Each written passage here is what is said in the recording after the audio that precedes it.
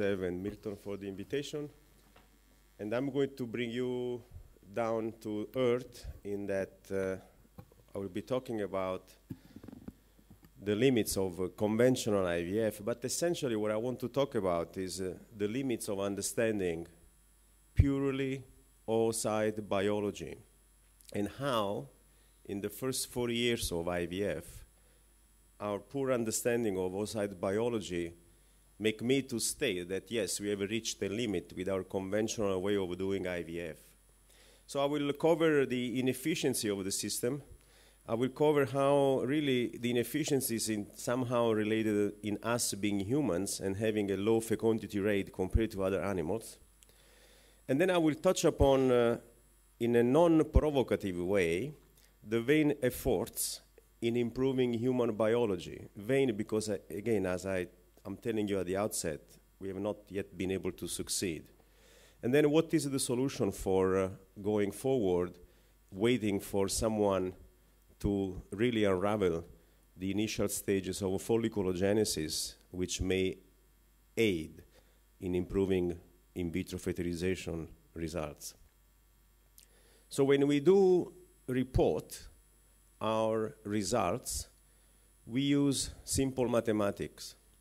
And these are the simple mathematical calculations that I'm going to drive you through to show you that in four years we have not been able to improve oocyte biology, but just the rates, the mathematics. Okay? So, for example, when we talk about the implantation rate, we define implantation rate at the, at the numerator, how many embryos you transfer. At the denominator, you put how many embryos you have transferred. Now, an easy way to improve implantation rate is to transfer fewer embryos still keep the same pregnancy, you have improved your implantation rate. The same for pregnancy. We reported pregnancy per cycle, pregnancy per retrieval, pregnancy per transfer. And again, if you change the denominator by modifying the transfer numbers or modifying the retrieval numbers, cancellation rate, for example, all of these are all going to change and may look better. But these simple mathematical calculations we have not changed by doing so the biology of the S, the so I've been studying this for, uh, for the last 20 years. I, push, I, pu published a couple of papers. The first one uh, uh, in 2005, looking at how many embryos produced in the IVF lab and transferred, they give a baby born. So there are two publications I want to review with you, one in 2005, one in 2017. And you see that uh, in 2005, the first review showed that only 15%, 15% of all the embryos transferred in the United States over the course of those uh, initial seven years of, of study, they produced a baby. The other 85% they did not. And then lately, another 10 years of observation, many more millions of embryos transferred. The number of babies born only 20 percent. So if you look at the first, uh, uh, the, the first publication of the 2005, you see here on the, on the highlighted in green that the number of embryos discarded or wasted was very high. And that really shows you the mathematics. Like in 1995, we were transferring a mean embryo of uh, almost four. The total number of embryos transferred, almost 124,000 the babies born 11,419. So 91% of the embryos were wasted. And the transfer for deliveries but 25%. But then look in red. In 97, now just by simply changing the mathematics, in other words, transferring fewer embryos instead of four, now we go to three, okay? You see that you have reduced your wastage rate from 91 to 85 percent. And then if you keep looking and looking and looking now, the last uh, uh, 10 years of analysis, again in red square, you can see that by just decreasing your denominator, mean number of embryo transferred, now down to 2 in 2013, your wastage rate is now 76%, but overall 80% of embryos are transferred. So please note, in these 10 years, you have 1,800,000 embryos. 1,800,000 embryos produced after in vitro and only 358,000 babies born. So there is a tremendous, tremendous wastage of biological material. And uh, it's not only in the United States. Okay, look at the, at the Australia New Zealand data here. What's the number of uh, fresh cycle that produced a baby? 23.5%. So again, a very low success rate, and this uh, compares very well with the uh, United States data, but it's also in Europe. Look how many more, more, how many more cycles, how many more embryos produced out of the millions, seven million and a half, only 22% all over Europe in these large statistics produce the baby. Okay? So it's not only an American problem or an, an Australian problem, it's also an European problem, which uh, underline the concept that from zygote, from fertilization to baby, as here in the, in the yellow circle, only about 7%, 7% of the 2PN fully used become a baby. Tremendous wastage. So when we looked at the how many eggs you are wasting in the process, the uh, data are even more disappointing. And you see that when we first published this paper in 2009, a lot of criticism when I said that in donor eggs, only 7% of the eggs produced in donors, once fully utilized and transferred, they give a baby. They said, wow, that's very too low. That's only a year. No, it's not. And then uh, younger than 35 37, only 4% of the eggs. And then as women age, only 1% of the eggs produce the baby. This also replicated by Michael Tucker, exactly the same data on 193,000 oocytes, that in donor eggs, only 6 to 7% produce the baby, and fewer and fewer as women age. And then replicated in Belgium, the same exactly concept across the world, which means one more time that the oocyte biology across all these years has not changed only few, few, few eggs with our conventional IVF become baby once fully utilized, whether fresh transfer, frozen transfer, all accounted for. So 20% of the embryo transfer so far, that's my summary for now, result in a live birth. 5 or 6% of the eggs collected in the conventional way, conventional IVF, and fully utilized result in a live birth. If a woman is younger than 37, 7% in the egg donor, Women older than 40, 1 or 2% of the eggs, baby. Therefore, there is a worldwide, worldwide, very high biological wastage that has been unchanged over the years, as I demonstrated you with the data that are commonly published and known. Why? These are some of possible explanations, uh, probably by rescuing follicles that are destined to atresia. We are already harvesting oocytes that are not destined to become a baby. Only few oocytes, perhaps, are leading a live birth per year. So there are only few cycles in a year where a woman, even if she's young, is really reproductively competent. And I will demonstrate this with the next few slides. And particularly in women of 40 or older, if the oocyte to baby rate is so low, 1 or 2 percent, maybe they have a much fewer months in a year where they do have a good egg.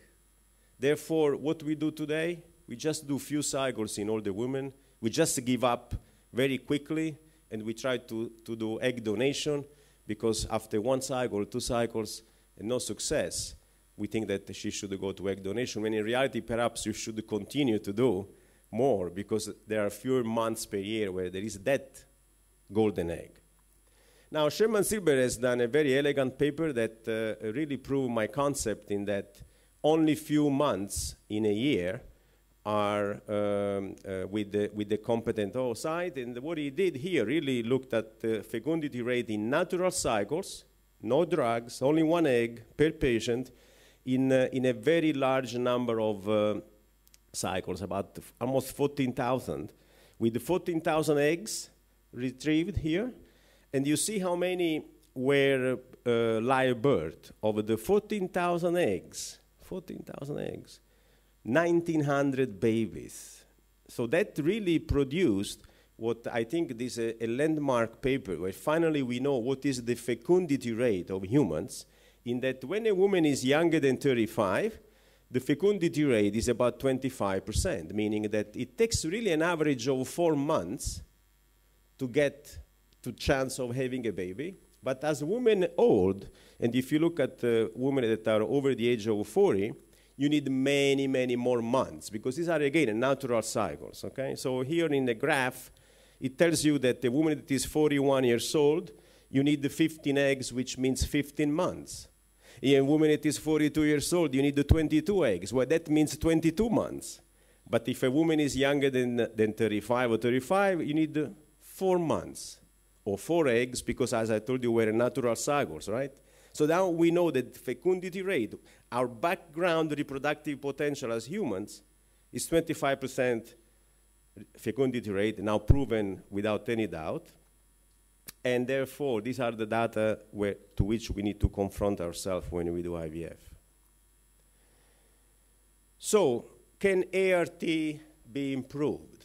Can we improve the results? And what I want to discuss now here, and be a little provocateur, is that there are a lot of ads on that have been brought to the forefront, but there are some potential in this ads on. Unfortunately, many, the great majority, are still unvalidated.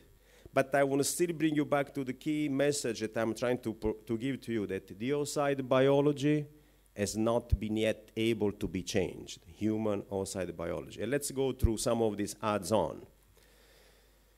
This is a paper that uh, uh, Joyce Harper from UK put out saying that there are many of the adds-on, but the evidence is still lacking, and she focused on a list of them, embryo glue, sperm DNA fragmentations. But what I will be focusing on this particular case is the PGTA, pre-implantation genetic testing, time lapse. And uh, probably you cannot read this, but this just came a month ago from UK, saying that the HFEA has now issued regulations in which any clinics, if it's true what is written in this report, that is doing ads on, even as simple as an assisted hatching or a time lapse, or an endometrial scratch, they need to inform the patient that is an unproved, okay, adds on. This is a must now for, for UK. Now, the assumption on the PGTA that mosaicism in blastocysts is very low, 1 or 2%. The testing is 100% accurate, precise, without false positive and false negative, and that the biopsy does not reduce the viability of the embryo. Well, these are the facts. Fact is that interpreting trophectoderm biopsy is still very problematic, even with the next generation sequencing, which I think should not be called NGS anymore, but this generation sequencing, because we are waiting for the next. this is now this generation sequencing, still has a problem. Maybe 20% or 30% of mosaicism. Some may argue even higher than that. And the proof and the facts are that there are babies born from the trans, and these are healthy children, from the transfer of embryos that were otherwise destined to be non-transferred. So when I debate with the, uh, with the colleagues on the PGT issues, they say, well, but you, never, you, ne you only discuss, discuss, but you don't uh, take care of the randomized controlled trials that have been done, you need to do more studies on that. Well, I don't need to do the study. You need to prove to me that these babies that have been born were not a proof of a, a mistake. These were errors. Otherwise, this baby would not been born. And 33% in the, in the, in the paper of uh, Greco et al. from Italy that were originally called as abnormal, yeah, when they were transferred, they gave rise to completely normal baby uh, at birth. And the Escher study with an expansion of that, the Greco studies, another 31%. 31% of completely healthy babies. And then there was uh, this paper from Santiago Munné, that this is a very recent one, December of 2017, a year ago, where you see here in the, in the red square that there is a percent of uh, embryo mosaicism and the transfer of this embryo mosaicism And then uh, in the last column, how many resulted in uh, an ongoing or delivered pregnancy. So overall, about 40%. 40% of embryos labeled as mosaicism by Santiago paper, they gave, a, they gave a pregnancy ongoing already delivered. So therefore, this is the rate of the false positives, somewhere between 20 and 30 percent. And this couple from Connecticut went on the Wall Street Journal this year because this lady had two years of, inf- of infertility. She's 44 years old. She was told that uh, this time, even this time, the transfer has to be cancelled after three transfers that were cancelled because no normal embryos. She insisted. She went against medical advice and she said, No, I want to transfer both my embryos that I had. She had one normal and one was uh, an aneuploid embryo. And here are the two babies. Okay? So uh, that's another proof that babies can be born by the transfer of un- aneuploid uh, or mosaic embryos. What about the false negative rate? This is a study from uh, uh, Jamie Grifo from NYU. What they did, they transferred the embryos that were euploid. Okay, so you transfer euploid embryos. They were uh, euploid by the old but then uh, very uh, effective technique of CCS, chromosomal comprehensive screening, without array CGH, so they transferred. Then these people with euploid, euploid embryos, they miscarried. So what they do? They went back and said, let's, let's look again at this data and let's reanalyze the biopsy that we had by NGS. And when they did the NGS, they found that there was about 36% of those embryos that were originally called as normal, that in reality they were not. So there is a false negative of 36%. I looked at the false negative rate in our own uh, field, in our own clinic, and what I asked Michael Simoni, one of the residents, I said, you know what, let's look at all the time where we transferred two euploid embryo by NGS, and only one of the two implants and deliver, or how many of these euploid embryos really produce a live birth. So now there is a, this, the uterus has been completely removed from the equation because at least one was a live birth of the two, okay? And when we do the calculation, we find that 25% of the embryos that were euploid by PGS, NGS, they did not implant, or they miscarried. So there is a 25% false negative. We also looked, and we have not yet enough data, at gestational surrogacy cases. Now the uterus is one of the best uterus that you can ever have. And transferring euploid NGS embryos, how many do not implant? And even there, we have about 20% that do not implant. A claim from Nathan Treff says, well, mosaicism with the current technique is overdiagnosed so since the great majority of aneuploidies are aneuploidies that are meiotic in origin, in other words, the egg when it comes in your lab is already, is already impacted by aneuploidy, okay? Mitotic errors, the one that give rise to mosaicism, that are extremely, extremely low. These are, this is a problem of the labs where you send your specimen. They don't know what they are doing. They don't know what they are looking at. Okay? So if the error is meiotic in origin, the STAR study should have shown that, right? So they did the polar body analysis here.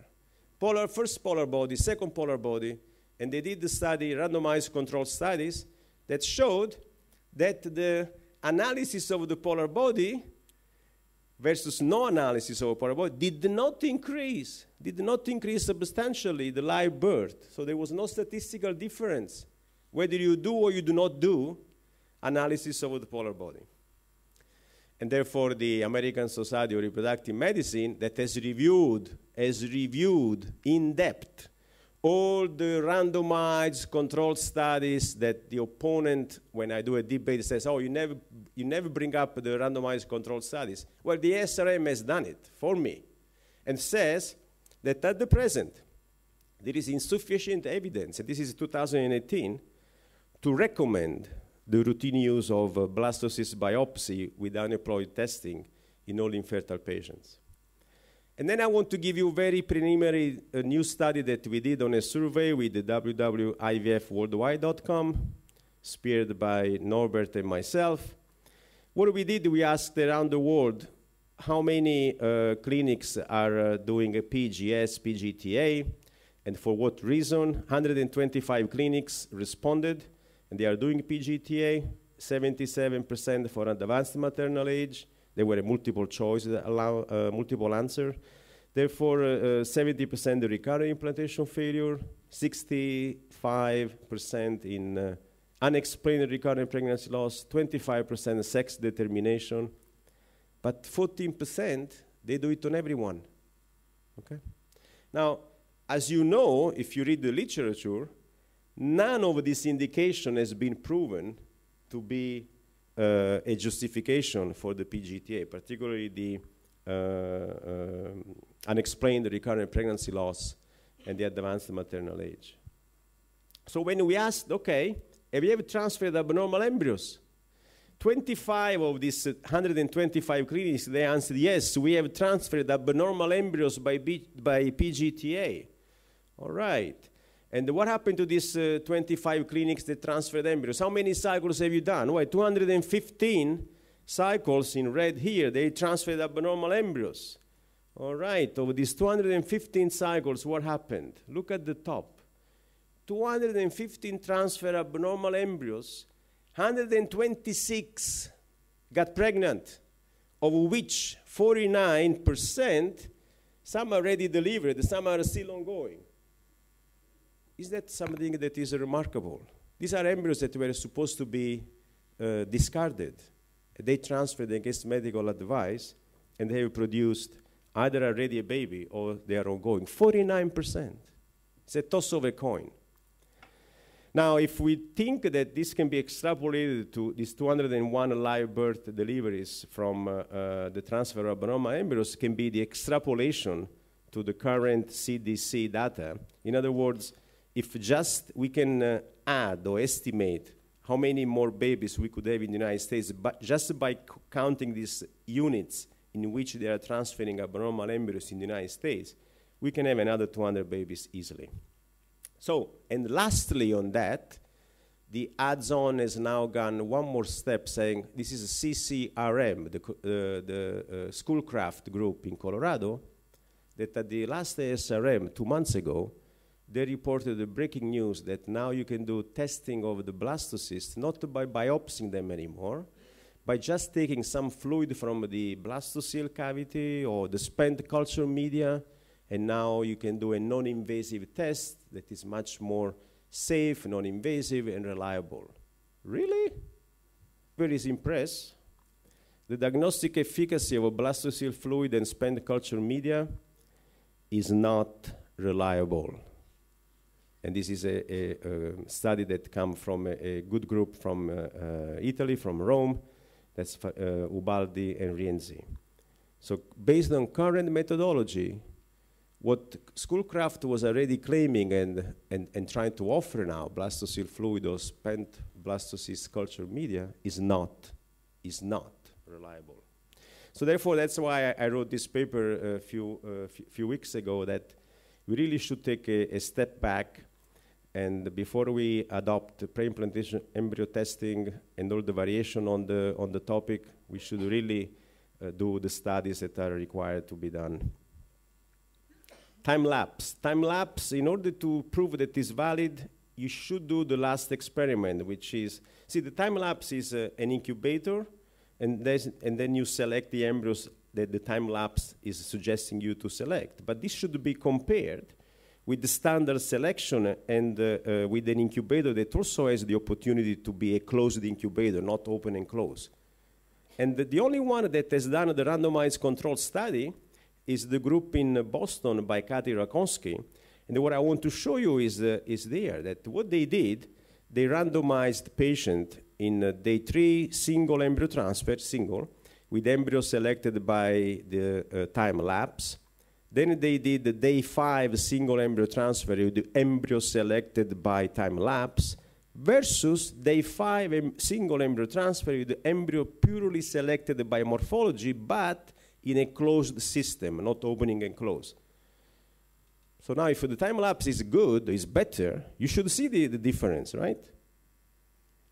There is a difference. That it is not better, actually, it's worse. And you can see here that by doing the day five alone, by taking a standard morphology in a closed system, your, by intention to treat, your pregnancy rate is 47% versus 33% on the day five selected by time lapse. For me, also here, the case is closed and I do not have a time lapse at Yale. And he's also from Cleveland Clinic saying that uh, time lapse in a randomized controlled trials did not improve, did not improve the clinical outcome. All right.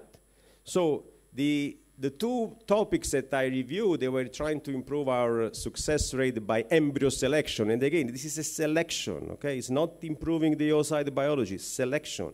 They failed so far. What about improving implantation? And there is a list of things that have been put on the market for improving implantation. Let me focus just on two. The endometrial scratch, in case a woman complains of uterine itching, you can offer endometrial scratch. And the endometrial scratch, and this is a wonderful study by Cynthia Farquhar showing that does not improve live birth rate. And these were uh, a total of uh, 1,364 women randomized, 690 to endometrial scratch, 674 to control. There was really no improvement whatsoever in a live birth rate in this controlled randomized study. So end of the scratch also here.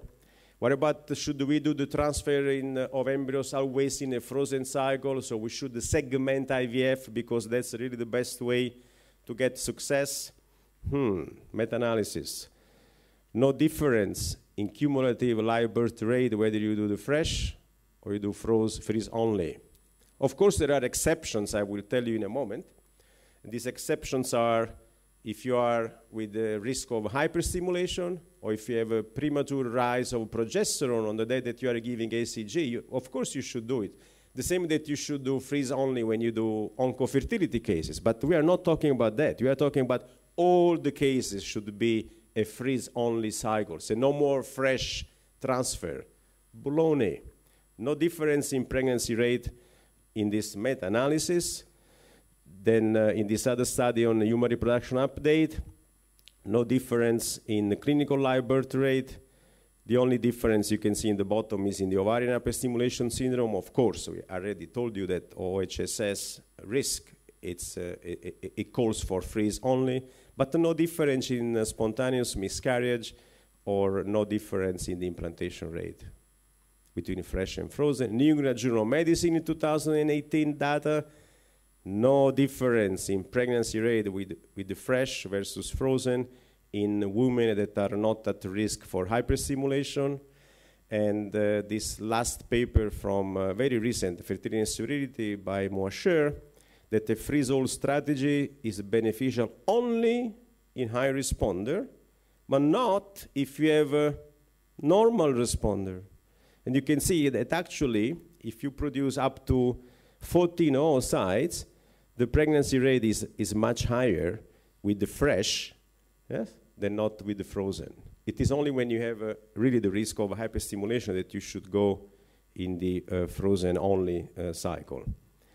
So therefore, we, we have now, I hope, that uh, uh, this cumulative meta-analysis, these recent publications put the, the topic to rest, that we should not offer freeze all or freeze only to our IVF cycles. In addition, remember that there are also risks for uh, perinatal outcome because a small for gestational uh, age, yes, is lower risk in uh, frozen embryo transfer, but on the other side, you have uh, the large for gestational age, very high birth weight, which are higher in frozen embryo transfer, and also hypertensive disorder of pregnancy. So in the overall, there is really no justification to do a freeze-only or freeze all cycles in, uh, in IVF.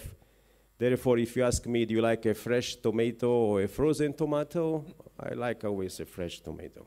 So for great majority of IVF, the freeze-all strategy is not necessary, adds cost, delay pregnancy, and except those cases that I reviewed with you, OHSS, progesterone rise, or you need to do fertility preservation, or if you do PGTA, that may justify a freeze-only approach.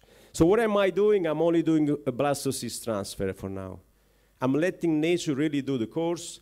Few meta-analyses support my, uh, my behavior right now. I'm just letting uh, the embryo grow to blastocyst in every single case, and the meta-analysis shows that blastocyst transfer is uh, uh producing an increase in, uh, uh, in, in, birth, in live birth over day three transfer. And you probably know already this meta-analysis of 2016. And uh, there is a rationale, two rationale. One is that by if your lab is good and you do uh, biopsy, for example, in many cases, so you do freeze only uh, in all the cases, you are freezing a blastocyst, so you know how to grow the blastocyst. But the benefit is that by growing to blastocyst, many embryos from day three to five, they will not make it. But that's nature. They are, they are spontaneously arresting their growth and they don't become blastocysts. So uh, we talk to the patient and say, listen, if there is no blastocyst this cycle, means it was not meant to be. Do you remember the paper of Sherman Silber, how many months you need to wait for the good one? It's not that if I, if I do uh, a biopsy, I'm going to improve your oocyte biology. The oocyte is what I got. Maybe that was not the right month. That's my, my and they like that. They don't want to stay on progesterone if they don't need to be. They, they really want to know if that cycle should be repeated right away or not. And the other thing is that by extending to blastocysts, even though it's not a perfect method, but as Grifo showed, may also reduce a little bit the risk of aneuploid embryos to grow, because between a day 3 biopsy embryo and day 5 biopsy embryos, you see that there is a reduction in the, uh, in the number of uh, aneuploid embryos that they make it through. So if an embryo is aneuploid, most likely, or there's a higher chance that it may arrest. And the final slides for the youth in the audience. If you say, well, if, if you are telling us that nothing has changed, what should we do? You need to invest time, energy, resource, your laboratory time in understanding folliculogenesis. We've been doing for four years over and over and over again, time and time over, the same thing. We just stimulated the last two weeks of a folliculogenesis process that we don't even know how many months it takes for an egg that is uh, parked, is in a parking lot called the primordial follicles in the ovary, and then every day they do this long march of the penguin going towards the ovulation. Maybe it takes four months, maybe it takes five months. We don't even know how long, how long it really takes. So we have no idea what controls really the, the movement of the primordial follicles towards the secondary follicles. So we have some markers to understand, the AMH, but that's just uh, telling us, okay, who is in the pipeline. We have no idea what controls the initial stages of folliculogenesis. Don't even, we don't even know how many eggs there are at birth.